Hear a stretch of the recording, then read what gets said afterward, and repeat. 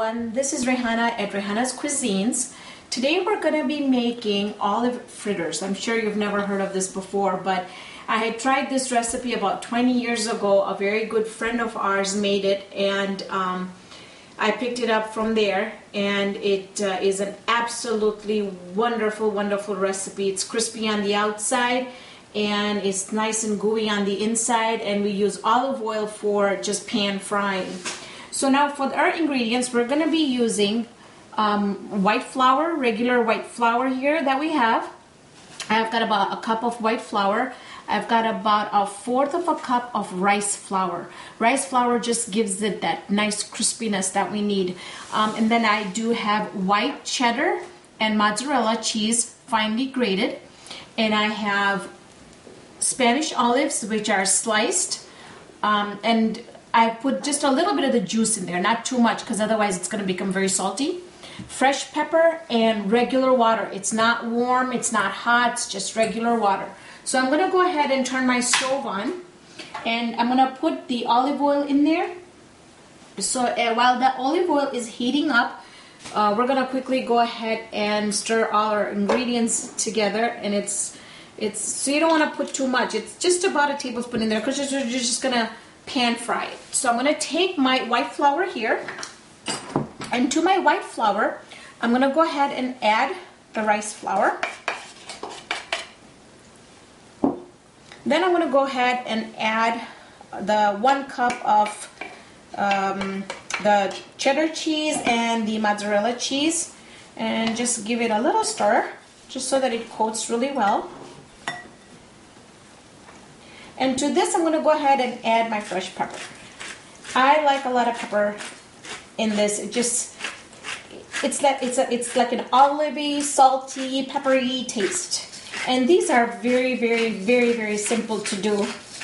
So I like to have all the ingredients on hand. So if I have company, which unexpected company, these are fast to, fast to make. I'm going to give this just a little stir here.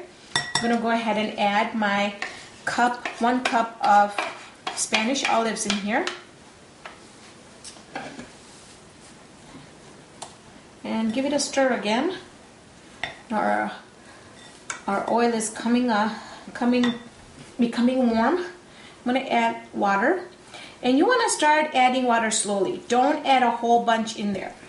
Um, just because you're going to have a mess because if you have too much water then you have to go ahead and add more flour and so we're just going to add little by little just eye it.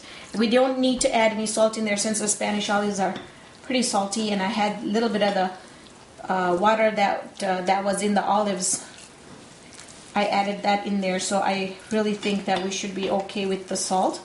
And I think that the batter is pretty thick. So I'm still going to add a little bit, bit more water in there. Give it a nice stir.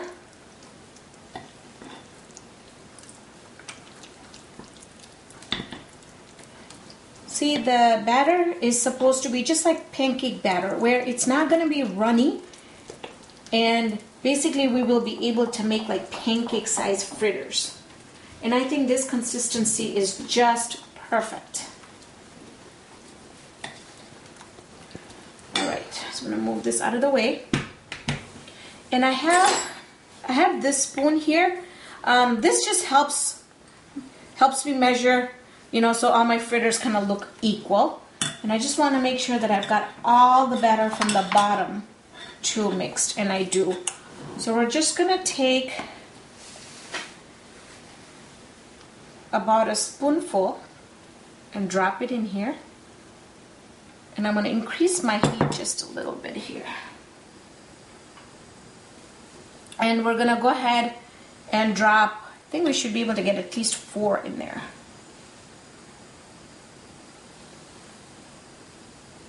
There we go, we started getting some bubbles.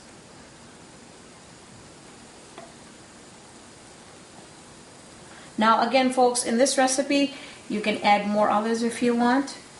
You can take out olives if you want. If you don't like green olives, you can make it with black olives. Um, then you would have to add the salt in there. And I think I'm going to wait because it's a bit too small. Unless, maybe I should make a baby one for my daughter. There we go. And, and there you go. We have a little appetizer one right there. So we just wanted some finger foods and wanted to make little ones. You can go ahead and do that. Now, I'm gonna take this out of the way here. We're just gonna let this fry up to the point where the bottoms are gonna be golden brown and crispy. And then we're gonna turn them over. So we're not gonna monkey with it. We're just gonna leave it and let it fry until the bottoms become nice brown and golden.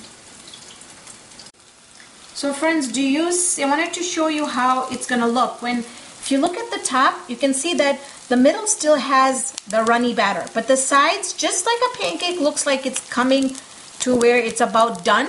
I wanna show you how the bottom looks. Look at the bottom.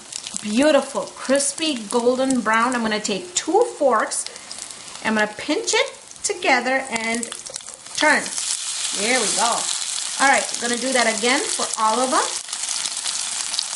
Again, two forks, pinch and turn. Two forks, pinch and turn. And we're just gonna wait for the bottoms again just to become eh, just so that it becomes nice and crispy just like the top. I'm just to move my oil just around just so that all my pancakes get it. Or all my olive fritters get it. Now friends, I don't use any spices in a sense. I don't use any hot peppers or any chutneys or any spicy items in my foods just because um, in our house none of us can eat spicy foods. But if you wanted to, you could cut up like um, habanero peppers or jalapeno peppers um, really cut them up real, really chop them up fine. And you can even add a little bit of the jalapeno juice in there. And I think it would, it would be really, really, really good. Um, unfortunately, I, we don't eat so much chilies in our house, but I, every time I do the cookings, I will give you the ideas of what kind of chili peppers you could add into um, the products that you're gonna cook with. So for this one, you could do the habaneros or you could, I think the jalapenos would be a better choice, the ones that come in the jar and they have the juice in there. Just slice them up so the juice will give it a really nice zing and a kick to it. And our olive fritters are almost done. And I can see that the cheese is trying to ooze out from the top here. So they're going to be really nice and crispy on the outside and really gooey on the inside. And I like mine really, really dark colored. So I'm just going to wait just a little bit. And if you think that, you know, like for instance, this one, I feel like it's, it still needs just a little bit, little bit of cooking. I'm going to turn it around. Just cook the other side. Doesn't matter. You can, you don't have to just turn it twice. You can turn it a couple times. And we're done. So I'm gonna go ahead and plate this and then I'm gonna cut it open so that you can see how the cheese has melted in there. So we're gonna place these straight onto our platter, just like that.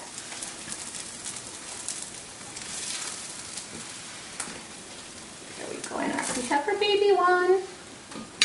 Just place it right over here.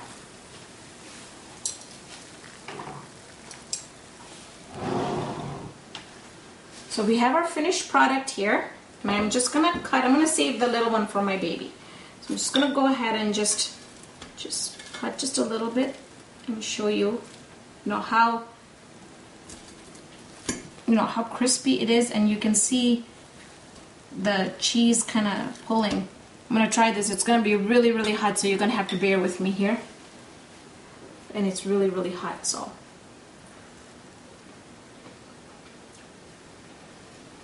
excellent.